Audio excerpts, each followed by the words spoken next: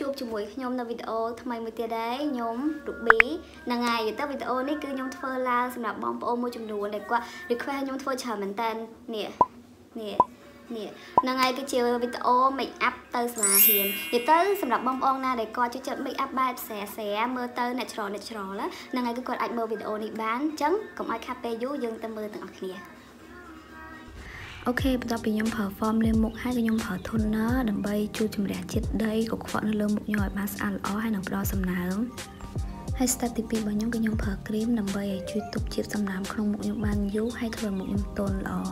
ហើយ step ទី3របស់ខ្ញុំគឺខ្ញុំប្រើប្រភេទ cushion ដែលមានជាតិ SPF ការពារកម្ដៅថ្ងៃរហូតដល់50បូហើយប្រភេទ cushion នេះដែរគឺវាជួយ cover ស្នាមយើងបានល្អខ្លាំងមែនតើជាពិសេសធ្វើមុខយើងភ្លឺទន់រលោងទៀត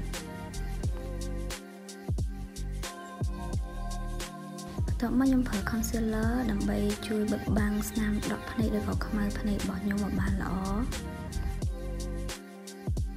អូខេ step បន្ទាប់ទៀតគឺខ្ញុំយកប្រើម្សៅនេះដើម្បី contour មុខរបស់ខ្ញុំទៅយើងដាក់ contour មកដើម្បីកុំឲ្យឃើញមុខយើងហោះពេក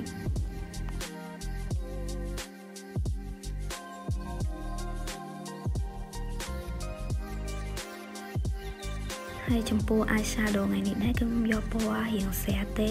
នឹងអញ្ចឹងបងបងណាគាត់ទៅរៀនអញ្ចឹងគាត់ផាត់ពណ៌ស្រាស្រាបានហើយដើម្បីឃើញភ្នែកយើងរៀង natural ហើយបន្ទាប់មកក៏ខ្ញុំយកជក់រៀងកោយកពណ៌សូកូឡាដើម្បី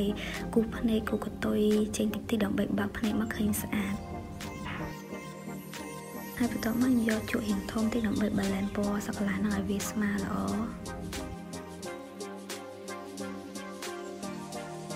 អូខេហើយថ្ងៃនេះដែរគឺខ្ញុំអត់ប្រើ mascara ទេគឺខ្ញុំប្រើប្រភេទ Vaseline វិញប្រភេទ Vaseline នេះដែរគឺល្អប្រើខ្លាំងមែនទែនពេលដែលយើងពុតហុំភ្នែកហើយគឺយើងដាក់ទៅគឺវាជាប់បានល្អហើយជាពិសេសវាជួយបដោះហុំភ្នែកយើងបានក្រាស់ទៀត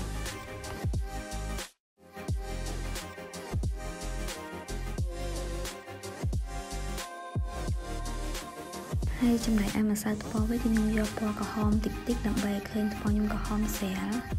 ហើយនេះនេះដែរខ្ញុំប្រើក្រែមលាវានិយាយទៅក្រែមនេះយើងដាក់ទៅអាឡូមាត់ហើយក្រហមតិចតិចមើលទៅខ្ជូត